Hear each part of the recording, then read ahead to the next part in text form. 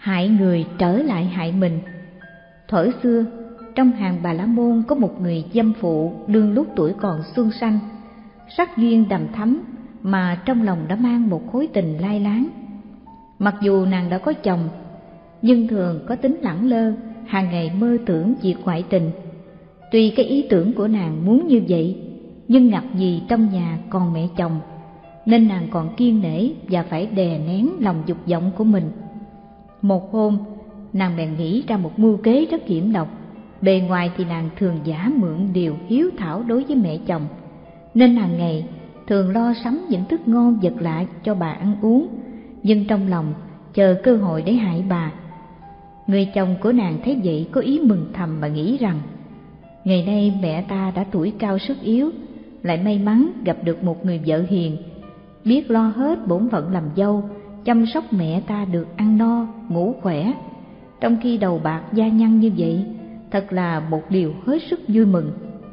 Người dâm phụ biết chồng đã làm kế của mình, bèn thừa cơ nói với chồng rằng: "Thưa chàng, tuy thiếp đã hết lòng nuôi dưỡng mẹ như thế, nhưng sự ấy chẳng qua là điều ở thế gian mà thôi, nên sự hiếu dưỡng cũng chưa lấy gì đáng gọi là mỹ mãn cho lắm. Vậy chàng cũng nên tìm một phương pháp chi khác, đặng quá sinh độ tử cho mẹ được siêu thoát linh hồn và được giảng sinh về cõi trời để hưởng những hạnh phúc thần tiên. Thì chúng ta mới được trọn đạo làm con, chứ những vật chất ở đời này cũng chỉ là giả dối trong lúc còn sống mà thôi. Người chồng nghe vợ nói những lời tha thiết như thế, liền đáp rằng, nếu chúng ta muốn cho mẹ được mau siêu thăng lên cõi trời, thì chỉ có một phương pháp của đạo bà la môn là phải dùng hầm chất củi mà đốt mẹ. Nhưng ta không nỡ làm như vậy. Người dâm phụ nghe chồng đáp thì biết đã trúng kế của mình nên nói thêm, phải lắm, trong đạo hạnh của mình đã có pháp giải thoát siêu thăng như vậy, thì chúng ta cũng nên thi hành liền, để cho mẹ được lên chốn thiên đường hưởng lộc trời, mà chúng ta cũng nên đáp được ân sinh thành nữa nghe qua mấy lời của vợ, người chồng liền tin. Chứ chẳng ngờ vợ suối đốc làm như thế là có ý quyết hại mẹ mình. Nên chàng ra ngoài đồng ruộng, đào một cái hầm rất lớn thật sâu và chở củi đem chất dưới hầm, rồi đốt lửa hừng lên đỏ lòm. Đoạn chàng lại lập một tiệc ở gần cái hầm, rồi trở về nhà dẫn mẹ ra đó, đứng làm chủ tiệc và mời cả thảy những bà con tân khách cùng chúng bà la môn đến dự và uống rượu nghe đàn. Sau khi yến tiệc vừa xong, các tân khách đều lui về nhà. Hai vợ chồng người dâm phụ bèn dẫn mẹ ra mé hầm xem, rồi thình lình xô mẹ xuống hầm. Người vợ tưởng rằng xác thịt của mẹ chồng đã tiêu ra tro, còn người chồng lại tin rằng mẹ mình đã tiêu diêu tự tại nơi cõi trời, nên dắt nhau trở về nhà. Ngờ đâu trong hầm ấy lại có một khoảng trống không có lửa khiến bà sa vào đó và chẳng có điều gì hại đến tính mạng, nên bà có thể tìm đường chui ra được. Khi bà ra khỏi chốn hiểm nguy rồi thì trời đã về khuya, bốn bề tĩnh mịch. Bà lần mò theo đường cũ trở về nhà. Nhưng vì đường xa và trời lại tối đen như mực, nên bà mới gắn đeo lên một nhành cây to và rậm để ẩn thân.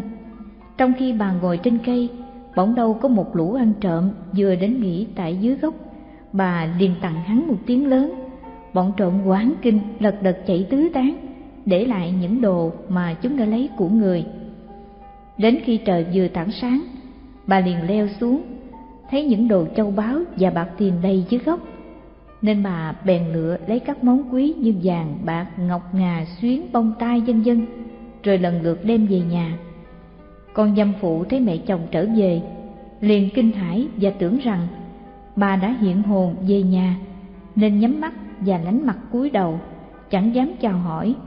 Còn chồng của nàng lại tưởng mẹ mình đã được siêu sinh nơi cõi trời, nay về thăm mình nên lật đật chắp tay lại mẹ mà nói rằng, con nhờ vợ của con khuyên bảo dùng phương pháp quá sinh độ tử, thoát kiếp siêu hồn.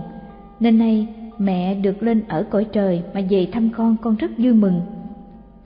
Bà mẹ nghe con nói như vậy mới biết con dâu mình đã muốn hại mình nên bà nhân kế tự kế nghĩa là bà dùng cái kế của người dâu đã hại bà đó mà trở lại hại nó. Bà bèn đáp lại rằng, mẹ nhờ hai vợ chồng con làm phép siêu thăng cho mẹ, nên nay mẹ được giải thoát mà sinh về cõi trời, hưởng được nhiều điều phước báo. Hai vợ chồng con ăn nở như vậy mới được trọn phần hiếu thảo. Bà lại quay sang người dâu và đưa mấy món báo cầm nơi tay mà nói rằng, những món ngọc, bông tai, vòng vàng xuyến này là vật của ông bà con nhờ mẹ đem về cho con. Nhưng vì mẹ chân yếu gối dùng thân gầy sức mỏng nên sách đem về chẳng được nhiều. Giả lại mấy người có nhắn với mẹ bảo con cũng làm phép siêu thăng như con đã làm cho mẹ vậy để con lên thiên đường mà lãnh lấy những đồ châu báu ấy còn rất nhiều người dâm phụ nghe mẹ chồng mình nói như vậy, tưởng là sự thật, nên đem lòng vui mừng, nói với chồng rằng, ngày nay, mẹ có duyên xa xuống hầm lửa mà được lên cõi trời hưởng những vật lạ của báo. Nhưng tiếp gì thân mẹ già yếu, nên chẳng đem hết của cải về được. Vậy nếu chàng bằng lòng cho thiếp làm phép siêu thăng như mẹ vậy, thì chắc thiếp đem tất cả những đồ châu báu ấy về hết khi ấy chúng ta sẽ trở thành đại phú gia, mặc sức cùng nhau hưởng sự sung sướng. Người chồng nghe vợ tỏ ý như thế, thì cũng vui vẻ bằng lòng, liền đào một cái hầm làm y theo cách đã thiêu mẹ mình ngày trước. Nhưng tha ngôi, khi hầm lửa vừa sắp đặt xong, thì con dâm phụ kia liền gieo thân mình xuống. Của cải châu báu đâu chẳng thấy, trái lại, phải bị ngọn lửa thiêu đốt nóng không thể tưởng tượng và kết quả tội lỗi tiêu tan thành tro bụi. Thật là một quả báo trùng rợn đáng làm gương cho những nàng dâu bất hiếu với mẹ chồng. Vàng hay rắn, khi đức phật còn tại thế, một hôm, ngài cùng vị đại đệ tử a nan đà từ non thú lãnh đi xuống kinh thành khất thực. Đi giữa đường, ngang qua một bờ đất lở, ngài thấy một ghè vàng. Đức phật dừng lại bảo a nan đà rằng, này a nan đà ngươi có thấy đây là một loài rắn độc không? Ngài a nan đà tôn kính bạch rằng, bạch thế tôn, thật là một loài rắn độc rất đáng sợ hãi. Có chàng tiều phu đứng gần nghe vậy, tưởng có gì độc thật, liền dội vàng đến xem. Anh đến, thấy một ghè niêm phong cẩn thận. Mở ra xem, anh mừng quá, vàng toàn là vàng vàng ngọc quý cả. Anh cười thầm phật và đệ tử ngài không biết dùng thứ ấy, còn cho nó là rắn độc. Anh ta cẩn thận, hớn hở mang về. Trước khi đem về, anh ta sung sướng la lên rằng, tôi xin nguyện con rắn độc này luôn luôn cắn tôi và cắn cha mẹ, vợ con quyến thuộc tôi. Tôi không cảm thấy đau đớn gì hết. Anh chàng tiều phu kia trở nên một người trưởng giả giàu có kiêu sa nào là nhà cửa, ruộng giường, tôi tớ, bò trâu, xe cộ, cực kỳ sung túc và lộng lẫy. Làng xóm thấy vậy, đâm ra nghi kỵ, không biết anh vì sao giàu sang đột ngột như vậy. Tiếng đồn gian đến tai vua a xà thế. Vua cho sứ giả đến hỏi, có phải được của kính nhà vua chăng? Anh ta ấp úng trả lời, tôi giàu là tôi giàu tôi không được chi của nhà vua cả. Sứ giả về tâu lại, vua cho gọi đến hỏi. Anh cũng ấp úng trả lời như cũ, cho là người gian vua ra lệnh tịch thu gia tài điền sản và bắt anh ta cùng tất cả bà con quyến thuộc đem đi hành hình. Khi đi giữa đường, anh ta khóc lóc, buồn bã và la lớn rằng, ngài ananda ơi, thật là một thứ rắn độc rắn độc nó đang cắn tôi và cắn bà con của tôi đây. Theo luật vua a xà thế, ông vua thực hành phật pháp, mỗi khi muốn xử tử một người nào, giữa đường nếu có gì lạ, phải trở về tâu lại vua ngay. Bọn lính nghe chàng ta gọi mãi ngài a nan đà, bèn trở về tâu lại vua hay. Vua đoán chắc có chuyện lạ, nên ra lệnh đem anh về. Vua hỏi lại lần này anh ta mới chịu thưa thật nguyên do được ghè vàng nghe xong vua cảm động ân hóa dụ của đức phật và bảo chàng tiều phu rằng tội ngươi đáng chết nhưng may duyên gặp Đức Thế Tôn. Ta cũng là Phật tử, ta phóng thích cho ngươi và bà con ngươi. Ngươi được phép đem gia tài và châu báu về. Ngươi phải đổi tự tâm tu theo thiện nghiệp và hết lòng cung kính cúng dường tam bảo. Chàng tiều phu được phóng thích, sung sướng vô cùng. Cảm mến ân Phật được sống, chàng về chỉ lo tu phước đức và hết lòng cúng dường tam bảo. Không bao lâu, nhờ công đức và lòng thành kính tu hành, anh ta được chứng quả giải thoát. Lòng hiếu của con chim quanh vũ Thuở xưa, ở núi Tuyết Sơn có một con chim quanh vũ, cha mẹ đều mù, thường đi tìm trái cây thơm chín, dân cha mẹ dùng. Lúc bấy giờ có vị điền chủ mới cái lúa bèn phát nguyện rằng, lúa tôi đây xin nguyện cho chúng sinh hưởng dùng. Chim quanh vũ thấy vị điền chủ phát tâm bố thí như vậy, bèn thường bay xuống lấy lúa cúng dường cha mẹ. Người điền chủ đi xem lúa, thấy loài chim, loài sùng phá hại lúa, nổi giận đặt lưới bắt được chim quanh vũ. Chim quanh vũ thưa vị điền chủ rằng, trước đây ông có lòng tốt bố thí, nên tôi mới dám lấy của ông, sao lại đặt lưới bắt tôi? Người điền chủ hỏi, người lấy lúa làm gì? chiêm quanh vũ đáp, tôi có cha mẹ mù, nên phải lấy lúa cúng dường. Vị điền chủ nói rằng, từ nay về sau, người cứ lấy lúa mà dùng, đừng e ngại gì cả. Loài súc sinh còn biết hiếu thuận với cha mẹ, huống gì là người. chiêm quanh vũ là tiền thân của Đức Phật Thích Ca, người điền chủ là tiền thân ông xá lợi Phất. Mấy lời tâm quyết Thuyết pháp giảng kinh, viết sách giáo lý nhà Phật hoặc in kinh sách đem phát cho mọi người xem để họ sớm giác ngộ, được như thế hạnh phúc không gì bằng, đó gọi là pháp thí. Nếu không đủ điều kiện làm những việc ấy, chúng ta thỉnh một số kinh sách chịu khó đem đến từng nhà cho mượn đọc, sau đó lần lượt cho nhà khác mượn hoặc đọc cho kẻ khác nghe, nhất là cho người không biết chữ. Việc làm này quý giá vô biên, đây cũng gọi là pháp thí. Chính Đức Phật đã dạy, trong các sự bố thí, pháp thí có công đức lớn nhất, không công đức nào có thể sánh bằng. Tưởng về lợi cũng như về danh, chúng ta đừng nên lo nghĩ, mà điều tối cần là làm sao cho rạng rỡ chánh đạo. Đó là mục đích chính, thiên liêng và cao cả nhất của chúng ta. Nền móng đạo Pháp cần nhờ sự chung lưng góp sức của chúng ta. Vậy mỗi người nên xây đắp vào đó một ít vôi, một ít nước, một tảng đá hay một viên gạch vân dân. Ngõ hầu cái nền móng ấy được thêm bền vững và kiên cố đời đời.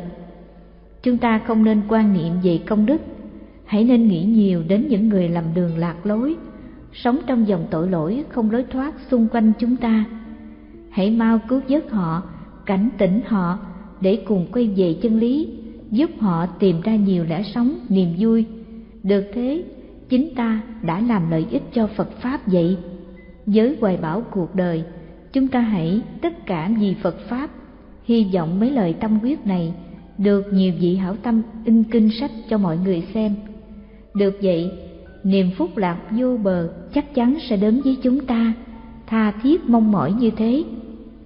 Tặng cho thân nhân một số tiền nhỏ, lòng mình không vui, nhưng mình không đủ sức tặng nhiều hơn nữa.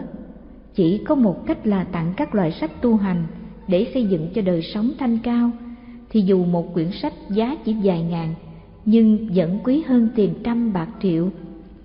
Quý vị nào muốn phát tâm ấn tống kinh sách, xin liên hệ chùa Hoàng Pháp, xã Tân Hiệp, huyện Hóc Môn, thành phố Hồ Chí Minh, điện thoại 713 0002 713 3827 email hoàng pháp amoc hcm vnn vn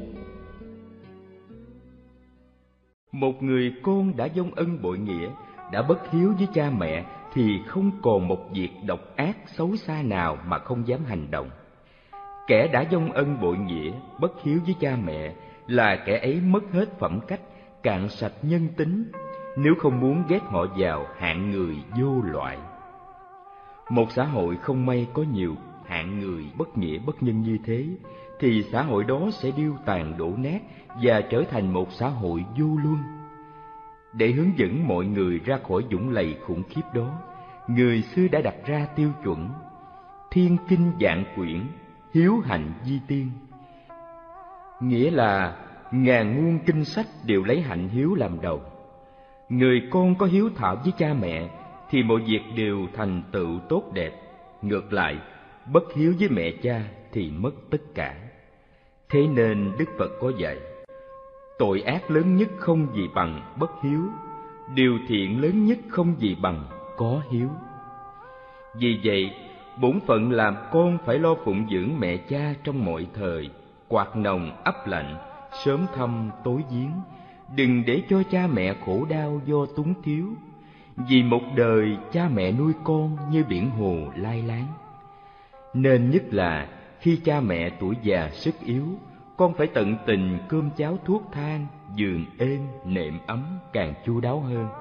Chớ vì sợ vợ hay nể chồng mà mắc phải cảnh tình, con nuôi cha mẹ tính tháng tính ngày. Nhưng dẫu cho báo hiếu có chu toàn, không sơ sót điều gì đối với mẹ cha, thì người con cũng chưa gọi là báo đáp cân xứng với công như trời cao bể rộng của cha mẹ. Đúng như Kinh Thi đã nói, Phụ hề sanh ngã, mẫu hề cúc ngã, ai ai phụ mẫu, sanh ngã cù lao, dục báo thâm ân, hiếu thiên dõng cực. Có nghĩa là cha sanh ta, mẹ nuôi ta, nhớ thương cha mẹ xót xa tấm lòng. Nuôi con cực khổ ẩm bồng, trời cao dồi dội, khó mong đáp đền. Cha mẹ như một bầu trời yêu thương dịu ngọt, mà từ lâu nay chúng ta bơi lội trong đó một cách thỏa thích vẫn không hề hay biết. Mẹ là dòng suối ngọt ngào, một kho tàng vô tận. Cha là kỳ quan vĩ đại, một món món quà lớn nhất mà cuộc đời đã ban tặng cho ta. Vì thế, nghĩa mẹ tình cha được truyền tụng từ đời này sang đời khác bằng những khúc hát lời ru hết sức ngọt ngào của các bà mẹ. Từ nông thôn đến thành thị, từ miền ngược đến miền xuôi, từ mái tranh nghèo xơ xác đến cung vàng điện ngọc, đâu đâu cũng vang lên câu ca. Công cha như núi ngất trời, nghĩa mẹ như nước ở ngoài biển đông, núi cao biển rộng mênh mông, cù lao chính chữ ghi lòng con ơi. Đúng vậy, thưa quý vị, công ơn sanh thành dưỡng dục như núi cao biển rộng của mẹ cha là một sự thật hiển nhiên mà chúng ta không thể nào phủ nhận được. Này anh ơi, chị ơi và em ơi, hãy cùng tôi một lần trong đời tưởng niệm về công đức sanh thành của mẹ cha, dù chỉ một lần muộn màng. Cha chúng ta là cột trụ của gia đình, ngoài việc giáo dục tinh thần, dạy đạo lý làm người cho con để sau này trở thành người hữu dụng. Cha còn phải làm lụng vất vả để nuôi con. Nếu gặp cảnh nghèo khó, cha phải làm thuê gánh mướn, đổ mồ hôi nước mắt, khổ nhọc trọn đời để đổi lấy bát cơm manh áo cho con. Cuộc sống bắt cha hướng mắt ra ngoài đời, nhìn đời và lăn lộn với đời.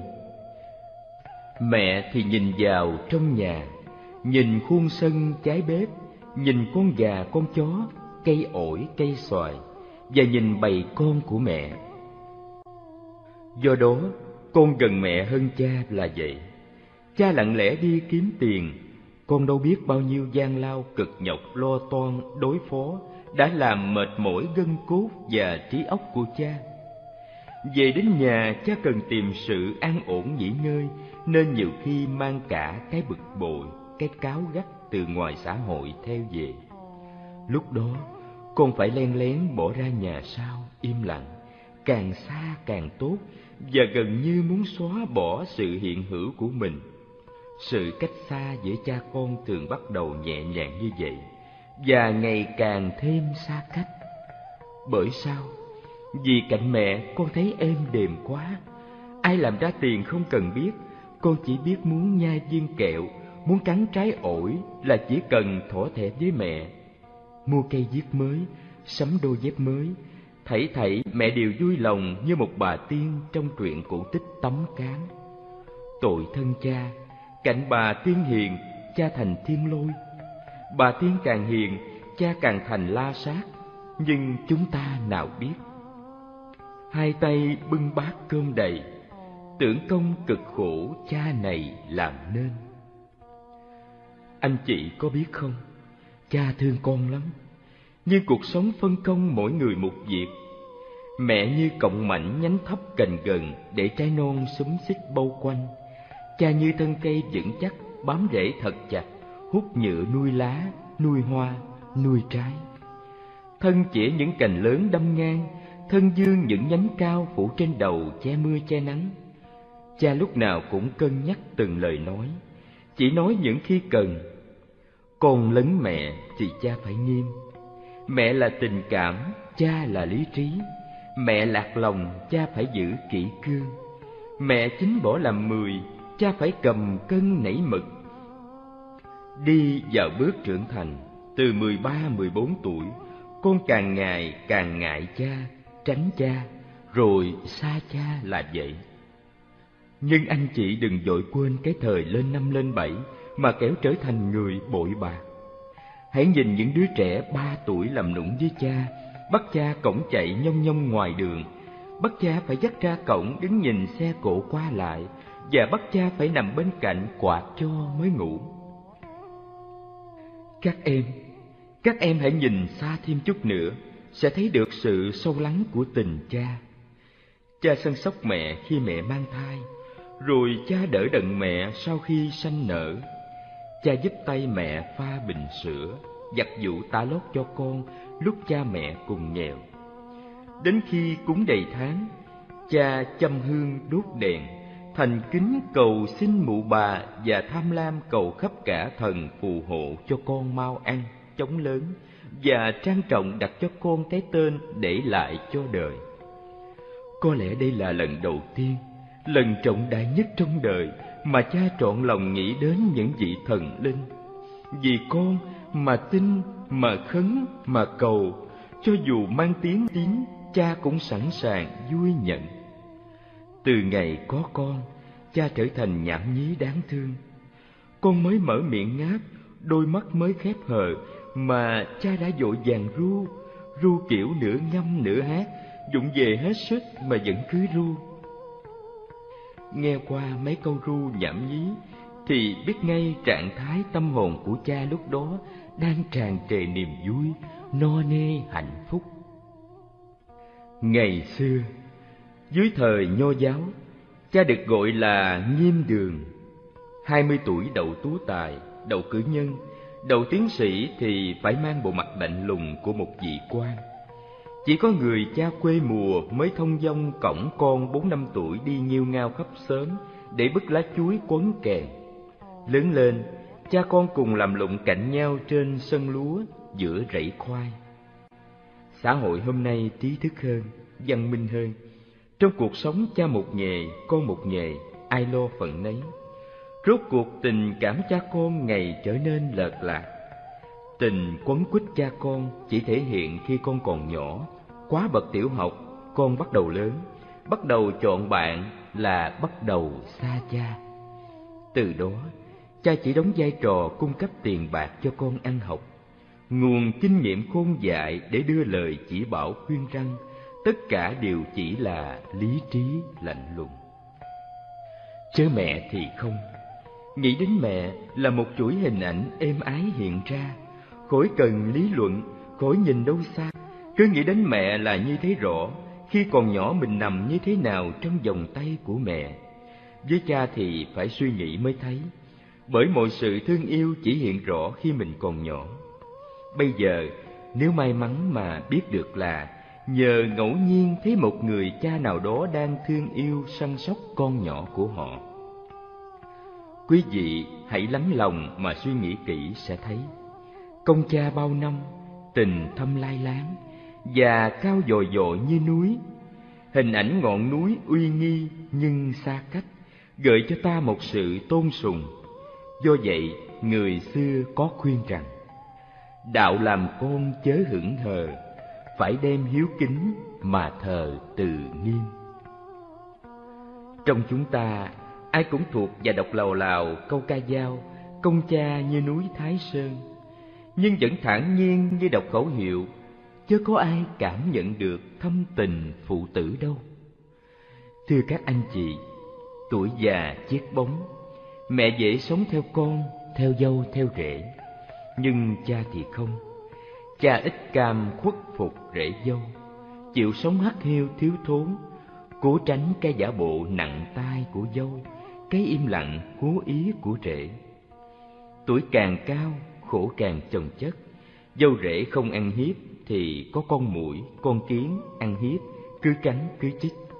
Cha nghe đâu đập đó chưa mắt mờ đâu còn thấy rõ.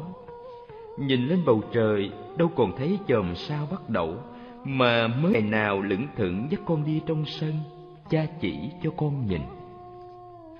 Con nay đang tuổi trung niên, bận theo quyền lực, vui với vợ con, giao thiệp với bạn bè. Việc báo hiếu cho cha thường tỏ ra hững hờ, lơi là nếu có ai nhắc nhở thì lý lẽ. Được vậy còn đồ gì nữa? Trời ơi, thì giờ đâu? Phải thì giờ đâu?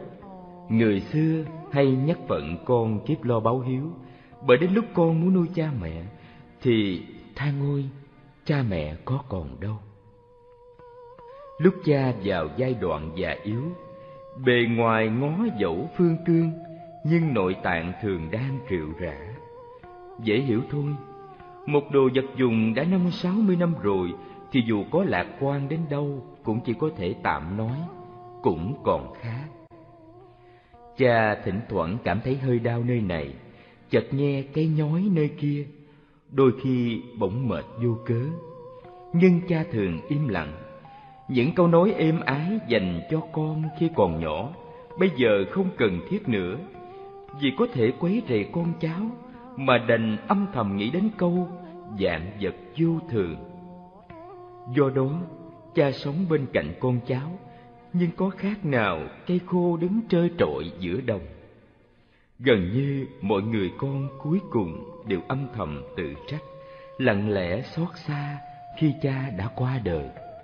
Vì còn cha gót đỏ như son, một mai cha mất gót con lấm bùn cha biết trước tâm trạng đó, phòng xa ngày nào mình từ trần con mới chợt ân hận muộn màng.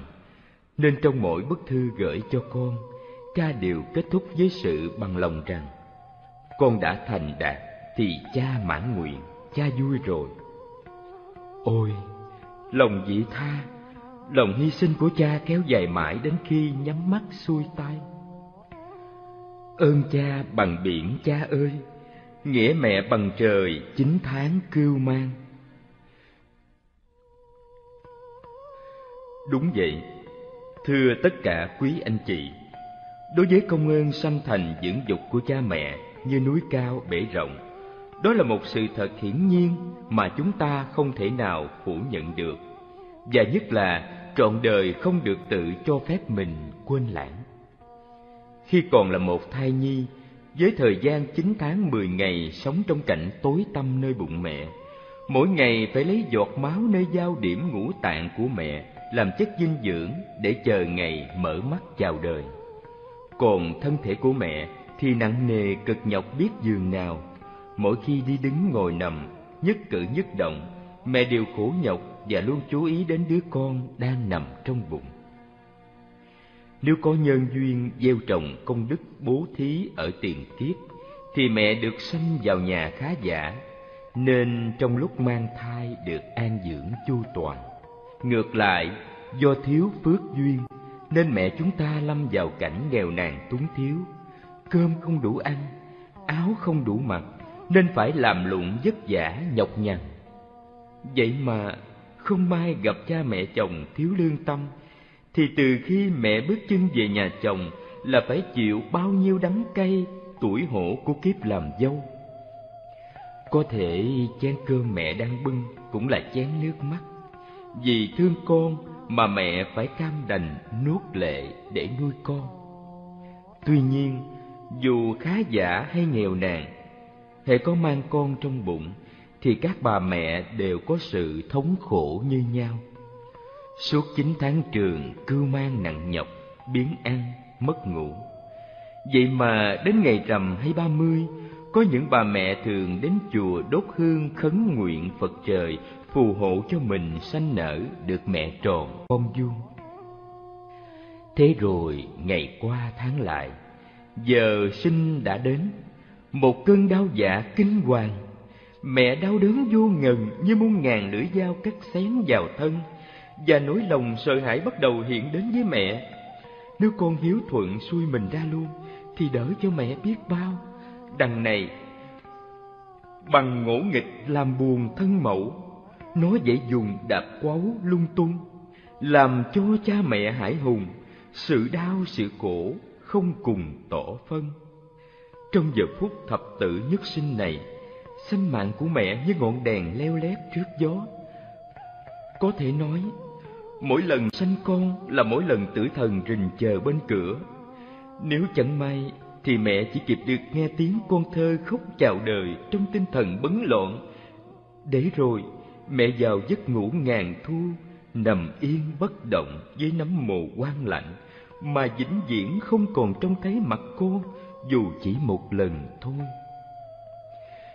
Khi mẹ đã vĩnh biệt chân trần, cũng có nghĩa là mang cả mạch sống về phương trời thiên cổ, bỏ con đối khác bên cạnh người cha đau khổ trong cảnh gà trống nuôi con. Đêm đêm, với nỗi lòng trống vắng bên con thơ, lòng cha rối như tơ giò.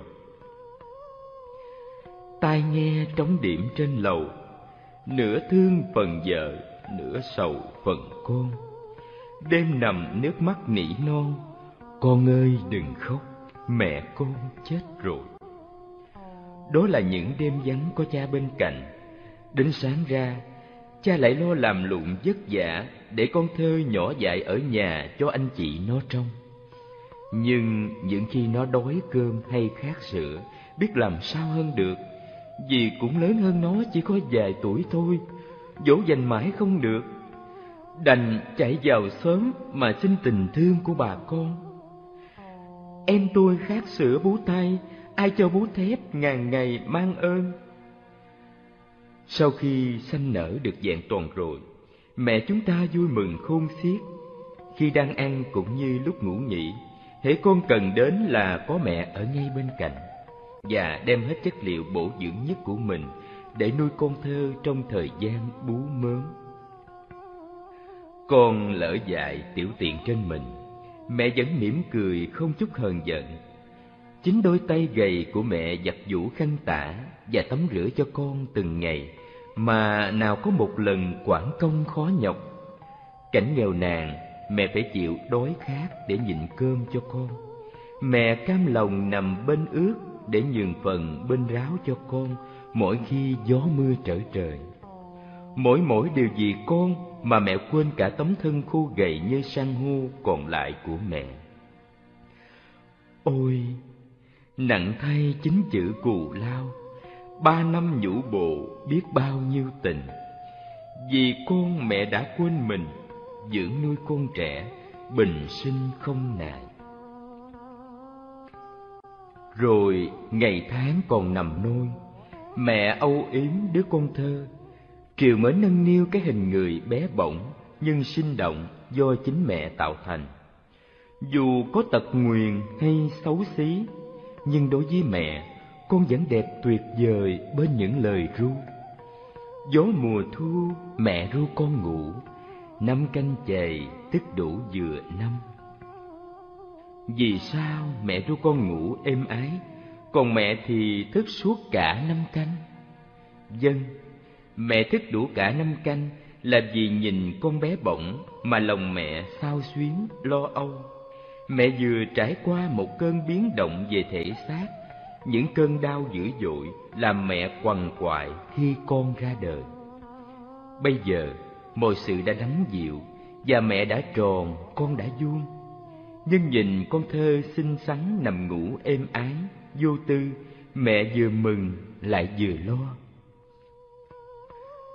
Sợ con phải ướt mà khóc ré lên, vì tiếng con khóc như xé lòng mẹ. Cho nên mẹ phải thức canh chừng để chờ bên ướt mẹ nằm bên ráo con lăn. Này các chị mỗi khi con ho lòng mẹ tan tành, con sốt lòng mẹ như bình nước sôi. Mẹ lo nghĩ, mẹ sợ hãi là gì? Nhìn con thơ mà mẹ nghĩ đến thân phận con người của con sẽ trải qua trong những năm tháng của tương lai đang tới dần. Mẹ lo nghĩ về sức khỏe, về cuộc sống của con.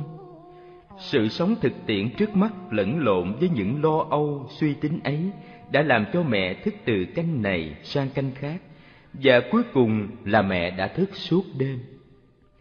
Nhưng đâu phải có vài hôm như thế mà trọn ba năm bú nương sữa mẹ, thân gầy mòn nào nệ với con. Không một ai có thể tính được khó nhọc trong việc nuôi con từ lúc lọt lòng cho đến ngày khôn lớn. Bồng con yêu quý suốt tháng trọn năm mà có lúc nào chúng ta nghe mẹ than giảng cực nhọc. Rồi ngày qua tháng lại, con thơ tuổi được ba lên năm thì đời mẹ lại càng vất vả hơn. Này các anh chị, các em có biết không?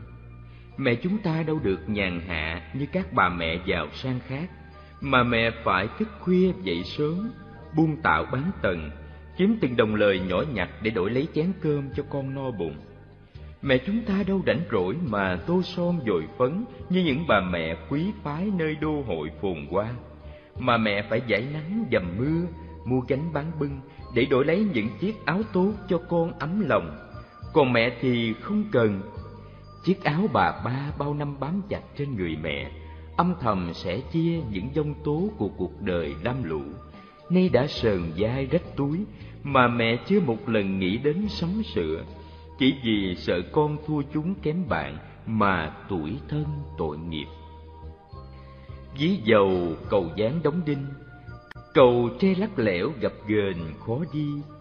Khó đi mẹ dắt con đi con đi trường học, mẹ đi trường đời. Con còn có mẹ dẫn qua những chiếc cầu dáng gập ghềnh còn mẹ thì có bao nhiêu khó khăn suốt quãng đời làm mẹ mẹ cũng phải cố gắng vượt qua, đem thân gầy yếu ra chống chọi với bao thế lực đen tối mà cuộc đời ngang trái đã tạo ra. Vì sự sống, vì tình yêu và hạnh phúc của con, mẹ không ngần ngại khi đối diện với mọi cạm bẫy của cuộc đời đầy tham chấp, dối lừa. Chuyện kể rằng, có một bà mẹ nghèo làm lụng vất vả ngoài đồng suốt tháng trọn năm vẫn không đủ ăn bao nhiêu mồ hôi nước mắt đổ ra trên cánh đồng khô cằn, cũng chỉ tạm đủ cho hai mẹ con coi cúc sống đắp đổi qua ngày trong một mái liều tranh trống trước hụt sau. Tài sản của hai mẹ con có gì? Chỉ một cái bàn dẹo chân để thờ người chồng bạc mệnh đã quá cố và một chiếc giường tre gãy vạc ngoài ra không có gì đáng giá mà mẹ con phải cam chịu giữa đất khách quê người. Một ngày kia người mẹ đang cầm cụi làm cỏ ngoài đồng, cố gắng làm cho xong để ngày mai lãnh làm thuê chỗ khác. Mãi biết làm mà trời tối lúc nào cũng không hay. Chợt nhớ ra, đứa con nhỏ ở nhà chưa có cơm ăn, người mẹ dục đứng dậy bươn bả đi về. Chẳng may, người mẹ bị rắn độc cắn. Sống trong cảnh tứ cố vô thân, không chòm sớm láng giềng, lại không có lấy một xu dính túi thì biết chạy chữa thuốc thang như thế nào. Trời đã sẩm tối biết mình không thể sống nổi. Người mẹ vội vã chạy về, vừa chạy vừa gọi, con, tiếng gọi, con ơi con ơi! Của người mẹ chan động cả cánh đồng. Về đến nhà, người mẹ hối hả đổ lúa vào cối xay, hấp tấp xay cho thật mau, mà miệng vẫn không ngớt gọi con. Và tâm tư của người mẹ lúc này chỉ thuần túy một nguyện vọng duy nhất là mong xây được thật nhiều gạo để lại cho con ăn sau khi mình chết. Không ngờ, điều quyền diệu đã xảy ra. Do dốc hết sức để xây gạo, nên các bắp thịt mỏi đến rã rời. Nhờ vậy mà chất độc thoát ra theo mồ hôi và hơi thở dồn dập của người mẹ. Và cuối cùng, người mẹ thoát khỏi bàn tay hung bạo của tử thần. Quý anh chị có thấy không? Trên cõi đời này không ai yêu thương ta bằng mẹ. Dù trong những giờ phút cuối cùng mẹ vẫn hướng về con, thương con, cho đến khi con tim ngừng đập. Thật là lòng mẹ bao la như biển Thái Bình. Chỉ không lưu ý đó thôi, chớ hình ảnh mẹ con diễn ra quanh ta đầy dậy thiên hình dạng trạng kể sao cho xiết. Mẹ ấm con đi chợ, mẹ dắt con tới trường. Trên sân, gà mẹ dẫn đàn gà con bới rác, thấy được mồi liền lập tức gọi con. Trên đồng cỏ, trâu mẹ đứng yên cho trâu con sụt mõm vào vú, mắt nhìn hiền từ, thỉnh thoảng âu yếm liếm vai liếm lưng cho con. Còn con cò lượm thượm dụng về, cái cổ dài ngoẳng, cặp chân cao liêu khiêu, vậy mà từ lưng trời khéo xếp đôi cánh đáp xuống nhẹ nhàng cạnh bầy con, dùng cái mỏ nhọn quắt để xuống mồi, để để lông cho con. Ôi tình mẹ con, quả là thứ tình cảm thiêng liêng khó tả. Bất luận là người mẹ nào, khi đã bắt đầu làm bổn phận và nhất là khi đứa con đã lọt lòng, con có xấu xí đến mấy, mẹ cũng thương, mẹ càng thương hơn như nhằm bù lại những thiệt thòi cho con. Như ngầm nhận sự xấu xí là do lỗi mẹ, vì con chính là bản thân của mẹ. Tình thương không cho phép mẹ phải hững hờ sao lãng, và cũng nhờ chính thứ tình thương ấy mà xóa tan mọi trở ngại khổ đau suốt cả cuộc đời bất hạnh của mẹ. Ai rằng công mẹ như non, thật ra công mẹ lại càng lớn hơn. Từ xưa đến nay, không một ai có thể tính được công mẹ và cũng không một ai đo lường được lòng mẹ thương con, nên chỉ có thể nói nghĩa mẹ như nước trong nguồn chảy ra. Nước trong nguồn thì chảy mãi bất tận, dẫu biết rằng một ngày nào đó sẽ đổ vào đại dương mênh mông, nhưng vẫn cứ chảy xuôi vì đó là bản chất của nước. Có những đứa con quá nghịch nên mẹ mới đánh. Phải, mẹ đánh con đó, nhưng mẹ lại thương con nhiều hơn. Biết bao bà mẹ đánh con xong lại phải trào nước mắt vì quá thương con. Mẹ nào không quẳng trôi và ôm con vào lòng dỗ dành khi nghe con trẻ mếu máo nói Má ơi đừng đánh con đau, để con bắt ốc hái rau má nhờ. Ai đã từng làm mẹ thì sẽ biết được tâm tư của các bà mẹ khi nghe con khờ thốt ra câu này, hoặc là Má ơi đừng đánh con hoài, để con kho cá bầm xoài má ăn. Nghe bao nhiêu đó cũng đủ no lòng mẹ rồi, và chắc chắn một điều là mẹ không cần ăn đâu. Cho dù đó là món cá kho dân dã trộn với xoài bầm đơn sơ thấm đượm nghĩa tình. Vì quá cơ cực trong kiếp sống bần hàng, nên lắm khi mẹ bực bội, mẹ ưu phiền mà phải răng dạy con. Chớ mẹ nào có muốn con đi bắt ốc, đi hái rau, đi kho cá, đi bầm xoài cho mẹ nhờ đâu. Mẹ thương, mẹ khóc, thương là thương con thơ hiếu thảo, với đầu óc non nớt và sự hiểu biết nông cạn. Con trẻ tưởng làm vậy là mẹ vui mà không đánh đòn nữa.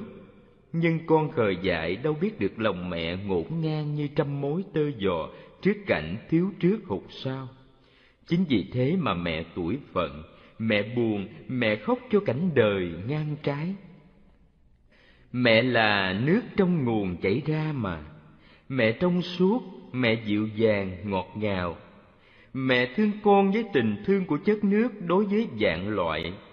Tuy cũng có khi nước đang chảy thao thao, nhưng nếu gặp trở ngại thì nước cũng gầm lên tung bọt và xoáy dữ tợn. Nhưng đó không phải là thể tính của nước. Thể tính của nước là nhuần mát, mềm dịu, trong sáng và là nguồn sống của muôn loài. Bởi vậy, tự bản chất đánh con của mẹ không bao giờ giận dữ thắng lướt tình thương. Thuở xưa có một hiền giả tên Hàng Bá Du. Một hôm ông phạm lỗi nên bị mẹ đánh. Ông khóc tức tưởi nhiều hơn mọi lần. Bà mẹ ngạc nhiên hỏi, Lần này mẹ đánh con ít sao con lại khóc nhiều? Ông quỳ thưa, những lần trước mẹ đánh con nhiều, ngọn roi mạnh, con khóc vì đau. Lần này mẹ đánh ít, ngọn roi nhẹ, con thấy ít đau Nhưng con biết sức mẹ đã yếu Mẹ đã già. Nghĩ vậy mà con khóc. Giữa trần thế này Đã có được bao nhiêu người con như hàng bá du? Chắc hẳn là ít lắm. Mẹ chúng ta tóc xanh nhuộm bạc tháng ngày. Mẹ chúng ta đau buồn nặng trĩu đôi vai. Bao năm nuôi đàn trẻ thơ dại, lòng mong con mình có một ngày mai. Mẹ chúng ta nắng mưa chẳng ngại nhọc nhằn, không than không phiền dù lắm hoạn nạn. Cầu mong con mình sớm thành người dân. Dù con có trưởng thành, mẹ vẫn không nỡ sống xa con. Nếu con đi vắng cha tiền mẹ lo mà. Hoàn cảnh có cơ hàng đến mấy, con đông bao nhiêu, mẹ cũng không bao giờ chịu rời xa. Đạm bạc cháo rau, mẹ vẫn không đành chia cắt. Những hôm con có duyên sự đi xa, hoặc phải ở lại ban đêm, thì mẹ cha trong đứng trong ngồi, không thể nào an tâm được. Vậy mà thời chiến tranh loạn lạc, mẹ phải cắt ruột mà tiễn con trai lên đường tòng chinh nhập ngũ bỏ lại sau lưng một mái tranh nghèo có người mẹ già đứng đợi con về, mà dấn thân vào đường tên mũi đạn, tắm mình trong khói lửa điêu linh. Có khi phải ngã gục trên bãi chiến trường, để lại mẹ già đang khắc khoải ngóng chờ con. Mỗi lần nghe súng nổ, thì mẹ niệm phật không ngớt, để cầu nguyện cho con mẹ được yên lành mà chờ ngày đoàn tụ với gia đình. Chứ mẹ nào có hay con mẹ đã yên giấc ngàn thu với lòng đất lạnh. Còn con gái đến tuổi trưởng thành sắp có đôi có bạn.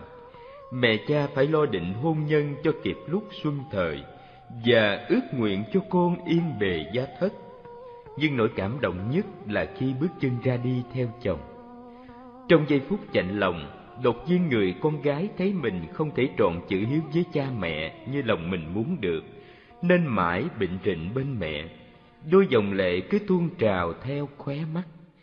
Mẹ cũng ứa nước mắt, nhưng cố gượng gạo khuyên con. Gái lớn ai không phải lấy chồng, can gì mà khóc, nín đi không? Nín đi mặc áo ra chào họ, rõ quyết con tôi các chị trong. Nhưng ai nào biết, trong lòng mẹ đau như dao cắt từng đoạn ruột khi phải xa con để rồi khóc nhớ thương con trong đêm vắng. Con ạ à, đêm nay mình mẹ khóc đêm đêm mình mẹ lại đưa thôi con là tất cả. Khi có con mẹ bình tâm dạch vú cho bú. Áo sống xốc xếch quần săn quá đùi mẹ cũng không còn thấy ngượng. Có con là như đủ rồi. Niềm vui lớn nhất của đời mẹ là sinh được con nếu gặp được trường hợp đớn đau phải hy sinh đời mình để cho con sống, thì hầu như mọi người mẹ đều nuốt nước mắt mắt đón nhận cái chết về mình mà không hề lưỡng lự. Mẹ đã chôn vùi cả tuổi thanh xuân cho con của mẹ được an vui đến trưởng thành. Và cho đến ngày nhắm mắt xuôi tay, mẹ mới không còn lo cho con nữa. Thật đúng, mẹ già đà trăm tuổi còn thương con tám mươi, ái ân có đoạn chăng, chỉ hơi thở cuối cùng. Thì lẽ ra, những ngày còn lại trong tuổi già xế bóng, mẹ già ở tấp liều tranh, sớm thăm tối giếng mới đành dạ con.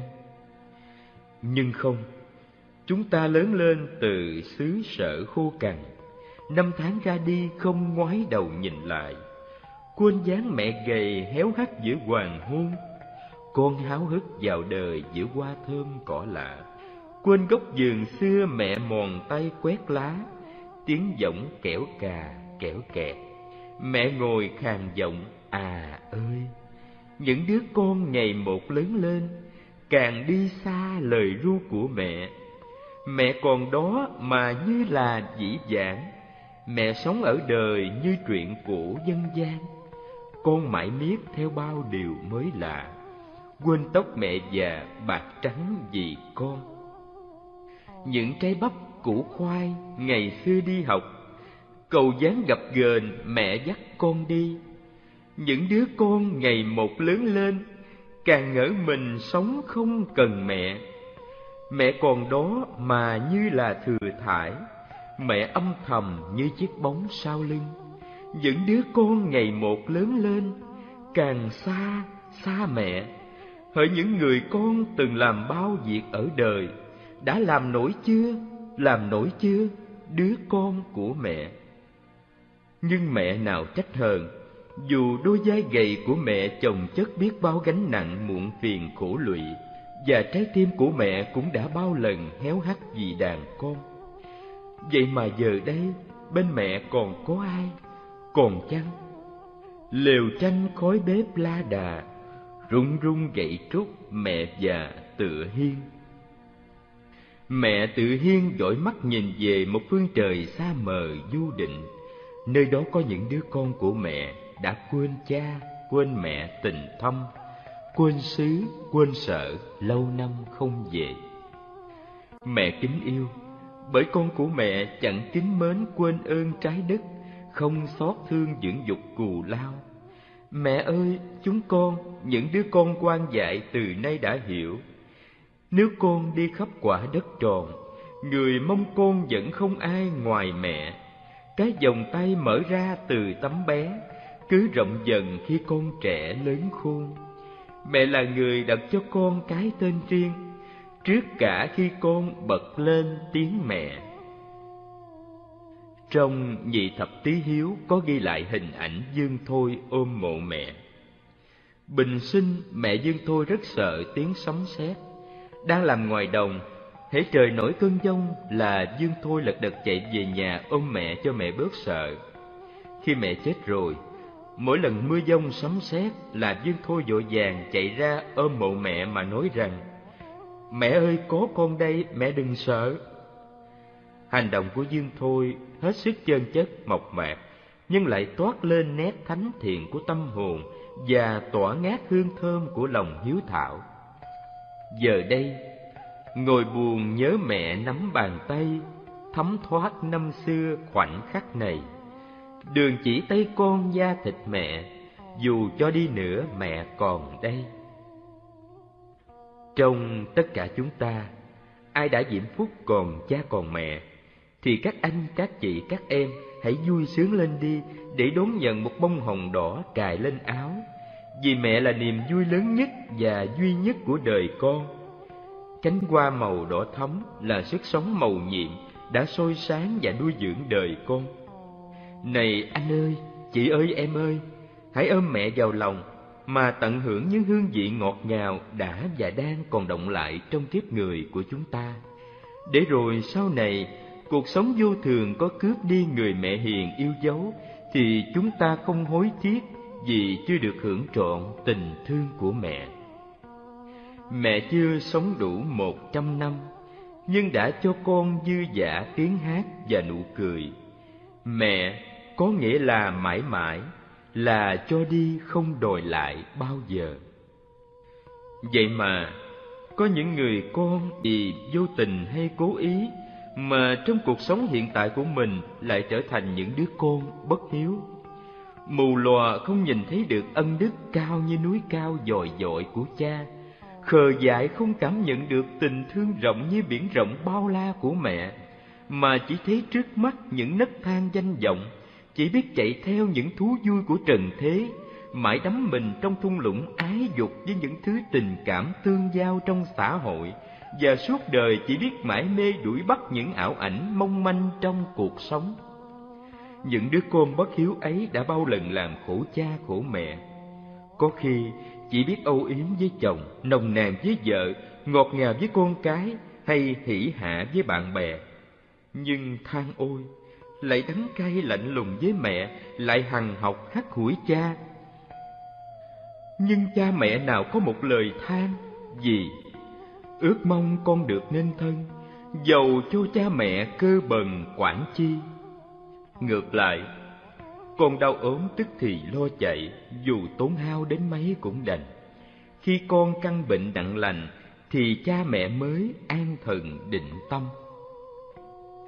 Nhưng chúng ta nào đâu biết được, bao nhiêu sự nhục dinh khổ vui thành bại của con cũng là của mẹ tất cả mẹ đều cam lòng kề vai gánh vác ngay cả sự trầm luân hay giải thoát của con, mẹ cũng sẵn sàng tham dự. Nhưng làm sao được? Mẹ chưa hề dám nghĩ đến nước bàn, một cảnh giới an lạc cho mình, mà mẹ vui lòng nhẫn chịu bao lao luôn, cay đắng, để những đứa con bất hiếu của mẹ được thành tựu sự nghiệp. Nhưng cây khu đâu dễ mọc chồi mẹ già đâu dễ sống đời với con. Do đó mà, chỉ một lần mẹ không ngăn con khóc là khi mẹ không thể nào lau nước mắt cho con, là khi mẹ không còn quá hồng đỏ từ nay quá trắng. Hỡi những người con bất hạnh không còn mẹ, hãy cùng tôi ngậm ngùi đau xót cho vết thương trần thế. Biết nói gì đây? Khi lận nhìn trên ngực áo một cánh hoa màu trắng. Có phải chăng, cài nụ hoa màu trắng bạc này có nghĩa là chúng ta tự cài cho mình một chiếc khăn tang khi tưởng niệm về mẹ? Mới ngày nào đây, chúng ta còn quay quần bên chân mẹ, còn nũng nịu ôm gối mẹ. Thế mà, mùa du lan năm nay, chúng ta không còn có mẹ để thương, không còn có mẹ để nhớ mà phải mãi mãi cúi đầu gạt lệ, để run run tay nhặt lấy cánh hoa màu trắng mà nghe tan nát cả lòng. Ôi, trắng như tóc mẹ và trắng như đời mẹ. Có những thâu căng khi hồi tưởng về mẹ chợt thấy mẹ hiện về, lòng chúng con như được sưởi ấm và an ủi trong phút giây ngắn ngủi. Muốn tròn tay ôm lấy mẹ nhưng mẹ đã ra đi đi xa xa thẳm. Suốt cuộc đời mẹ là sống để cho con, sống vì con, không dành một ân huệ nào cho riêng mẹ. Vì ai mà mẹ thân gầy chân yếu, vì ai mà mẹ tóc bạc lưng cờm và vì ai mà mẹ nằm im dưới lòng đất lạnh, chúng ta hẳn đã rõ. Nhưng đến lúc trưởng thành muốn báo đáp thâm ân của mẹ, thì hỡi ơi, thân xác mẹ đã vùi sâu trong đất cát vô tình. Mẹ ơi, mẹ đã vĩnh viễn rời xa cuộc đời đầy ngang trái, rời xa bao muộn phiền của kiếp người bạc phúc và thật sự rời xa những đứa con dại khờ đã từng làm khổ mẹ, mà lặng lẽ trở về với phương trời thiên cổ rồi. Mẹ ơi, phương trời này con ngậm ngùi rơi lệ, đức cụ lao muôn một trả chưa xong. Ngày xưa, thầy tứ lộ cũng lâm vào cảnh này nên mới than rằng, mộc dục tịnh nhi phong bất định, tử dục dưỡng nhi thân bất tại. Nghĩa là, cây muốn lặng mà gió chẳng chịu ngừng, con muốn nuôi cha mẹ nhưng cha mẹ có còn đâu. Vậy những ai hạnh phúc nhất trên đời khi còn sự hiện hữu của mẹ, hãy ôm lấy gối mẹ, nhìn thật sâu vào đôi mắt mẹ và nói những lời yêu thương quý kính nhất trong lúc mẹ còn có thể nghe thấy được. Vì có thể, ngày mai này, ngày mai này nữa thôi, dành khăn trắng sẽ âm thầm cùng chúng ta tiễn đưa mẹ về nơi an nghỉ nghìn thu. Này các anh ơi, chị ơi và em ơi, đừng chần chờ và nói lời ước hẹn với mẹ dù chỉ một lần thôi, mẹ là kỳ quan vĩ đại nhất và là món quà lớn nhất mà cuộc đời đã ban tặng cho chúng ta. Hãy thử nhớ lại thuở mình còn nhỏ, lúc mặt mũi chưa được trơn láng như hiện giờ, chúng ta tiêu tiểu ngay trên mình mẹ. Mẹ vẫn thản nhiên vui cười và chưa một lần biểu hiện sự gớm nhờn hãy cầm lấy tay mẹ, nhìn mặt mẹ, theo dõi từng bước đi dáng ngồi của mẹ vì cũng có ngày, thậm chí chỉ trong khoảnh khắc chúng ta sẽ chỉ còn thấy được mẹ trong trí nhớ mà thôi. Bởi dép dưới giường lên giường dội biệt, sống ngày nay, há biết ngày mai. Phàm ở đời, hiếu thuận sanh ra con hiếu thuận, ngỗ nghịch nào con có khác chi?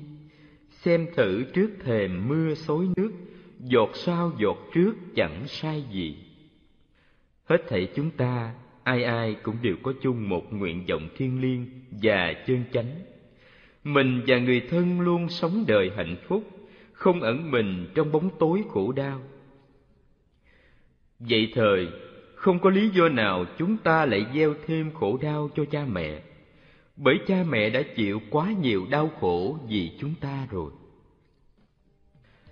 Hãy sống sao cho xứng đáng là đứa con đã mang nặng ân tình của hai đấng sanh thành. Hãy lắng nghe lời Đức Phật dạy. Tâm hiếu là tâm Phật, hạnh hiếu là